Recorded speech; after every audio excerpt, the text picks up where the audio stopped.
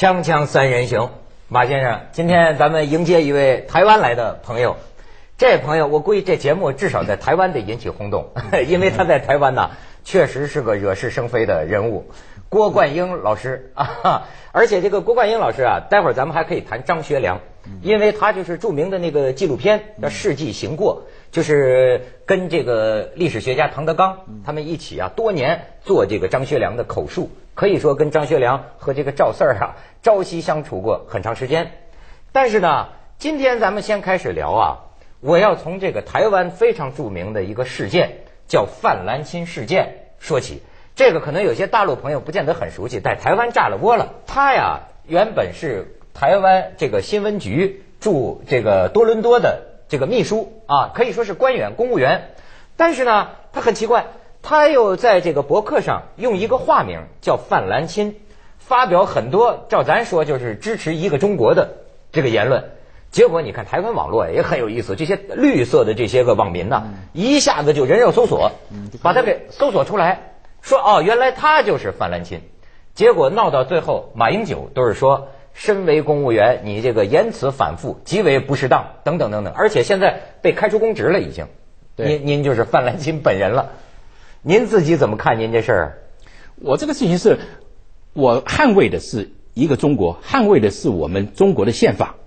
所以我讲的，我认为中国的宪法当然是中华民国。嗯，我的意思是说，如果中华民国还承认是中国的话，那么我们中华民国和中华人民共和国在一个中国下面有两个治权。我们这两个治权呢，将来在一步一步的走向统一，但是我们的主权是合一的。我说我代表中国，你说你代表中国，主权只有一个。嗯，那这就是我的整个呃我的言论的整个基础。那么我反对的是台独，现在要否定我们中国的主权，想要分裂我们中国的主权。那么，这是我反反对的地方。所以呢，我的文章大部分是这个东西。因为此，我是爱国护宪的，保护宪法的。结果，我现在台湾只有宣传台独的自由，没有那个捍卫爱国护宪的自由，这是最荒谬的一点。嗯嗯。所以我被什么开除公职啦，什么我一点不难过。我觉得这是国家为给我的恩典。我就想到。因为我的文章是因为二二八写二二八这个文章起来是非魔痴二二八起来的。嗯，我每年每年都帮这个陈仪讲话，因为我觉得陈仪是我们中国最清廉、最好的一个官员。他当时哎，他当时是充满着爱心到台湾来，结果现在被污成什么屠夫啦什么东西。所以我是写那个东西，我只是讲个事实，就算我讲错了，这是我的言论自由嘛。而且我是我以笔名写东西，不是以真名嘛？我不是以您那笔名使了多久啊？就那范兰清那笔。范兰清大概写了三四年，因为我大概有你使了三十年的笔名啊？三四年，三四三四年，大概我整个的笔名有二三十个笔名。对对对对。为什么呃为什么要用这个笔名呢？因为我是公务人员，我不能以我的真名出来写东西，人家可能认为我这个代表我政府啦，或代表我这个不就不好。所以我们台湾有时候政府一些官员出来也是批评这个批评那个。以真名出来，我都为了避免这个东西，我没这样做，我是笔名嘛。笔名就等于你是网络上的一个普通的随便的什么人，你可能叫王八，可能叫做王二麻子什么什么，这是你喜欢怎么取就怎么取嘛。嗯，所以这个是属于应该是属于言论自由的范畴。可是我以公务人员，我不能代表公务人员出来讲话，这就不行。所以我没有写那个我，所以我这件事情弄成这样，我觉得很荒谬嘛。这是。其实台湾是根本那那我觉得一个中国这种言论在台湾不可能，就是说就您一个人发出这种声音啊，这种声音很多呀，应该。你像说李敖不也是整天这么讲？对，哎，他们有人讲说李敖讲这个就没事儿，你讲这个就开除公职。他现在是这样讲，李敖讲可以，因为李敖是死老百姓，你是公务人员，你就不能这样讲。我说我公务更应该可以讲了嘛，一个中国你在宪法的这个这个框架之下，怎么不能讲嘛？对，我就说。就算现在我们讲一个中国，因为被台独这样攻击有一点敏感，我也没有以公务人员身份来讲啊。嗯。而且，就算我以公务人员身份来讲，我讲一个中国也是法定给我的权利，我本来就是要捍卫国家的宪法，公务人员本来就是要依宪法而办事嘛。嗯。所以我没有错啊。这就说呀，我的感觉啊，实际现在台湾的这个官府上啊，包括马英九啊，他是两头都哆嗦。他因为有个民意嘛。嗯。但是到底什么是民意？比如说。我们从这个事儿啊，正好可以了解，就是在这个台湾岛上，当然看来是有相当一部分人绿色深绿，讲究什么台湾独立。当然他们不知道这个可行不可行，没细想。但是你感觉，比如说都在骂马英九嘛，说说说说跟共产党好，你是什么意思？那么马英九这个自己本身他也是哆嗦呀，所以尽管你说你是按照中华民国的宪法出来的这个话，但是呢，他要照应这头的民意呢，他还是要表这个姿态，是不是这个意思？对。所以他们就显出里面很激烈的话，什么台湾人是台巴子了、倭寇了、倭寇、倭寇。我是说，二八的时候那些去杀中国人、杀外省人。那些人是皇民化的那个影响，因为他才脱离日本人的统治才一年嘛，你想他怎么可能改得过来嘛？我说这种人其实就是倭寇，我是这样子来讲的。嗯我也是说，如果你现在坚决那些深绿的主张台独，其实你的心态都是倭寇的心态。对我们中国人来讲，我是这个心态，对不对？台八子呢是这样子的，台八子其实就是我们台湾话叫做砍桥啊，就是有钱的这个那个。那个暴发户地主一样的，比如说你现在大陆有种现象，比如你的那个是在城市的郊外的农民，嗯，你的土地呢被政府征收走了，可是因为这个城市扩张了以后呢，你收入了，那你就本来成一个很穷苦的农民，突然变成暴发户了，因为政府可能补上你很大的钱，所以我们台湾有个台语叫砍桥啊，什么意思？那么我这个文章是说我在谈一个中国的观念的时候，有大陆的愤青呢，就是网民呢，在那边骂我说。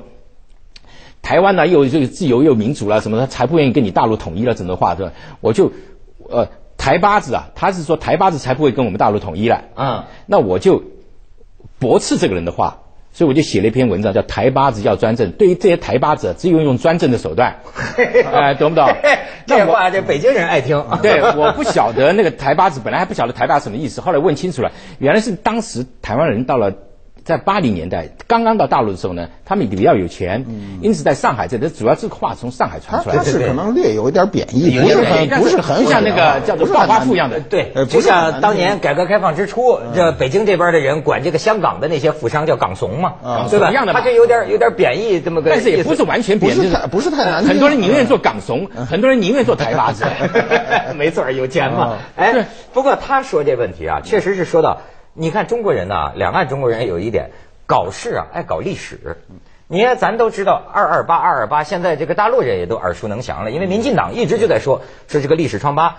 呃，民进党整出来的这个历史啊，我我了解的就是说二二八就是外省人，国民党当时这个国民党军开到台湾屠杀他们这个台湾本岛上的这个本省人，所以到后来马英九不还在那道道歉呢、忏悔呢？哎，就这么一个问题。但是啊，他原来啊，他对历史有他的这个看法。呃，他还带来一段，要不是他研究张学良嘛？嗯张学良二二八的时候，可当然也在台湾。张学良怎么说二二八？他带来一段纪录片，咱们可以看一下。二二八事变时候，你在竹东吗？我我我在台湾。你在这里？不但是我，我不知道怎么回事，我在里在在山里住的。啊。反正知道二二八事变。嗯。我怎么知道？把我们封个彩礼了，我们没吃的了呗。哦。那那那是高山对我们很不错。啊，那时候没法子，他们都吃番薯，唯有我一个人还吃点米饭。哦，我们是有个山，搁那山那那个过去到城外头去买饭，买买买东西去，那都封锁了嘛。哦，那么省政府的钱也不能来，那不省政府给。是是，嗯，呃，那那那那严重，那很严重。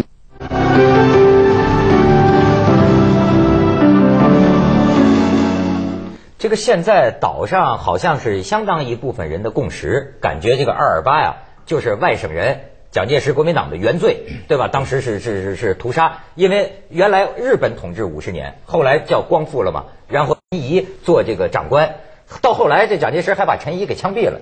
那么今天你提出的这种观点，就是二二八到底是不是外省人杀本省人的一场这个屠杀呢？不是啊，是本省人杀外省人呐。为什么？因为这个事情是一个茶具私烟这件事情要发生的。对，茶具私烟，我们私烟是不对的，我们警察可以去查具，对不对？那时候有流氓去打这个警察，警察一紧张就拿枪出来自卫，一下把一个那个那个流氓打死了，打死了他就闹起事情来了。闹起事情来以后，那你说政府不对，你去打政府还可以讲嘛？他在路上就大量的杀这个外省人，妇孺啦都杀的，就等于一个缩小的南京大屠杀样的。啊，他就大量的，当时有统计死了多少人吗？统计上外省人大概死掉四百，本省人大概死掉了六百多，这六百多是前面大概死掉了这个呃三百多，后来军队进来镇压了他们反反抗了，还有还有一点那个最后的部队跟他们冲突的，大概死掉四百，所以加起来大概七百个七百个千把人。外省人大概是八百人左右，也是千把人。所以陈仪当时报回来的那个给蒋介石的报告说，那个本省那个人死伤这个千余人，我们这边的外省的这个军工教人员损失这个八百多人，他是这样，也是这样。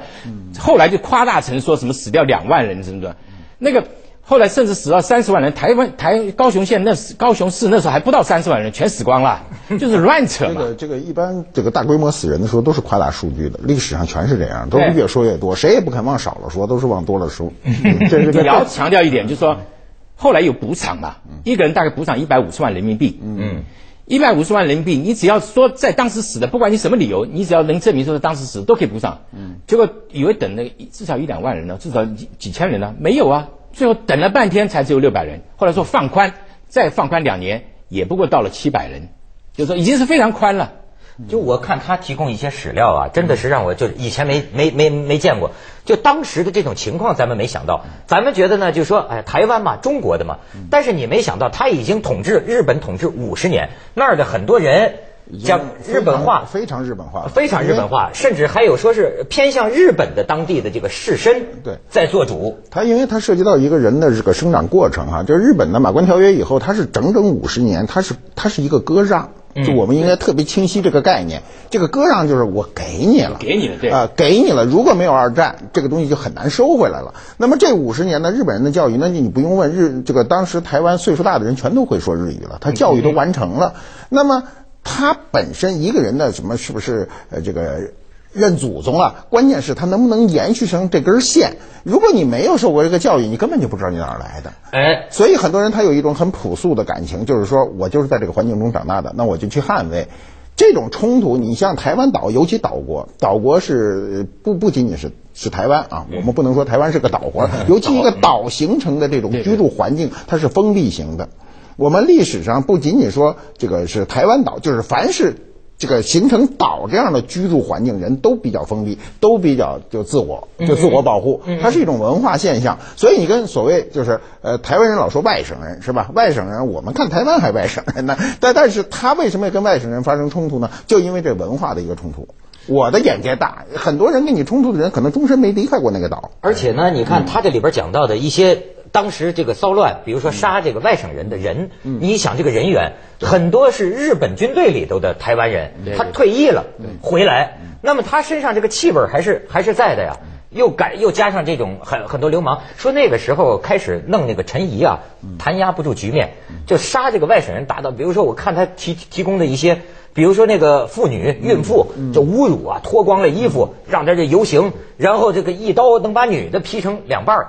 这种屠杀还有强奸这样的事情发生，到最后蒋介石说，但是陈仪犯了一个错误是疏于防备吧，当时把这个呃军队调离了台湾，所以造成这个武力上好像都抗衡不住当时的这个暴民的力量。这样子，台湾人还是很喜欢光复的，但是那个青年和这个退役的军人，就日本退役军人呢，他是把这个。亲日的皇民化的思想是暂时隐藏着的，所以整个台湾的状况啊，中老年人还是对中国有点感情，因此他们也觉得我们被日本人统治不好，现在能够光复了，成为四强之一，他们很高兴。那么陈仪呢，就觉得这个台湾很好嘛，很安静嘛。那么一年以后，蒋介石来看这个结果，所以就十月二十五号，等于台湾，我们就那一年是台湾光复节。嗯嗯。陈仪那个蒋介石来看了，看万民欢呼，蒋介石就很高兴。就在去日月潭玩的时候呢，现在大陆观光客不是常去日月潭玩吗？他去日月潭玩的时候，就跟陈毅讲说，现在我们国内要剿共了，嗯，那军队缺少，可不可以把这两个师啊调回这个调回大陆？陈毅一口就答应了。他想，陈毅想说，军队在台湾，我们省政还要去养他军队，而且呢，我们的军队确实军容比较落后。军纪并没有不好。那个时候刚到台湾岛，台湾人都瞧不起，说比那日本兵差远了。这装备。日本兵是当时世界上的呃列强嘛。嗯。所以呢，台湾人看不太起这个那时候军队，国民蒋介石也是好意，他没有派最好的青年军，他是追专门对付共产党去了，所以最好的军队送到东北去打，这比较刺激的军队呢，他就派到台湾来，只是安，就是等于是呃做个姿态，做点姿态保卫安民用的嘛，不是要打这，结果这这发生事情了，陈毅就答应他调回去了，一调回去不到三个月就发生这个这个二八事件嘛，嗯，所以现在都说，可是陈仪是好心。他如果真的是有欺压台湾人，他怎么会把军队调走呢？对不对？台湾人、外省人都是坏人，为什么在二八事变的时候有很多本省人去保护外省人呢？嗯嗯，对不对？这个正好怎么讲？如果是陈仪的政治很烂，叫做雨政是暴政，那为什么那么多本省人去保护外省人呢？但是我问您哈，您这个呃阐释啊，比如说为什么你这种观点在台湾好像不占很主流的市场，甚至于包括你国民党本人，你马英九。不也在那儿忏悔认错？呃，那又是怎么回事呢？这就是范兰青这种事情一样，像范兰青这么伟大、这么好的一个人，怎么会被他们搞成这样子呢？完全在颠倒是非嘛！因为只要你代表中国，你捍卫的是中国这个概念，你二八的时候说，其实这都是我们中国同胞之间的这种误解而产生的悲剧。只要讲这类的言论，都是那个、那个、那个反台湾的、不爱台湾的，就都给我们扣杠罪名。就呃就要清算，就要那个那个那个整数，就这么简单嘛。但是就是台湾人，照你看他们的这个情绪，因为咱们在大陆也知道，网络上所谓的民意，其实也不见得是全部的民意。呃，它不一定真实。嗯，就是我我们过去老觉得网络上人可能表达的更为真实，其实不是。他有时候是在一种环境中呢，把自己的某一点扩大化。而且有些人可能同时发两种相反的意见在网上发，这都有可能。所以网上变得并不一定特别真实。政治表达呢，你说你你说你的这个自愿性啊，并不一定说一定要藏在背后说，你可以站出来说。你比如您作为反蓝青，你是在背后说；当你承认的时候，你就是站出来说。所以他说现在台湾呢，说是也是文化大革命，就是有有这么一种民民粹，或者我我也是有这种感觉，是不是说在台湾？你要是讲独，那么就比较讨好；你要是讲统，讲中国，你就会遭人群殴。对，是是个气氛吗？对，还要偷偷摸摸的讲，或者扭扭捏捏的讲。所以马英九讲起统的时候，都是扭扭捏捏。不，这个是个，这个是一个很自然的现象。就是理论上，我们先从理论上推这个事儿啊。理论上，百姓跟政府永远是对峙的。就不，你不要做一个政府，你不要想象老百姓会帮你忙，老百姓一定是给你添乱的。为什么他就台独会占上风呢？台独是最添乱的事儿，所以他就会占上风。政府一定要清晰，就是这个，这个从一个国家来说哈，我们这个是抛开台湾、抛开这个大陆去说，就整体从政治结构上讲，这个政府就是管理百姓的，百姓一定是跟政府是对抗的。No，在台湾的情况不太一样的原因是，这个政府是我们多数的民意所选出来的。所以你是代表我们这个多数民意的。现在马英九所受到的困扰，所受到这些问题，就是他不敢去勇敢的代表这个多数的民意。我恰恰是这样，越少数的人越强烈，一定是这样。多数的人犯不着强烈。你比如说，我们出去去表达一个意见，大家都是这个意思，那我还强烈干什么？就没有意义。所以一定是少数人表达的时候越为强烈，越为极端，这是肯定的。嗯，你极端你要强烈是可以，但是我们政府应该说。你那个，这是你的言论自由，我可以容许你讲，但是你政府不能够站在他们立场，把一个捍卫我们多数这个价值、多数我们的宪法还是一个中国的宪法，捍卫这个价值、捍卫这个这个宪法的人，把他给惩处了，把他给那个那个迫害了，你不能这样子嘛？你可以让他讲，也可以让我讲，你不要去禁止他的言论，不要不要禁止少数的言论，但是呢，你要保护多数人的利益嘛。今天台湾就是不敢去保护多数人利益，不敢保护我们的宪法，不敢保护一个中国这个概念，那么扭扭捏捏的，反而去凑合那个台独的概念。但是如果他真保护了这个概念，是不是就丢选票呢？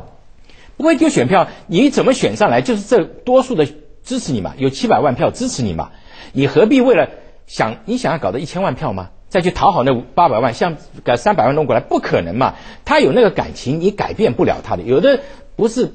凭理智可以讲得通的，你也知道，很多人是凭感情，因此你只要好好的做这做七百万人的事情，而且这七百万人是合乎我们这个整个岛的一个最大利益的，你只要坚持这个东西，就就是，我们还叫 C 千 C C 千万人无往矣，对不对？人无往矣，还有这种气度。现在你是千万人，你怎么不敢往呢？这个对小马哥要求太高了。锵锵三人行，广告之后见。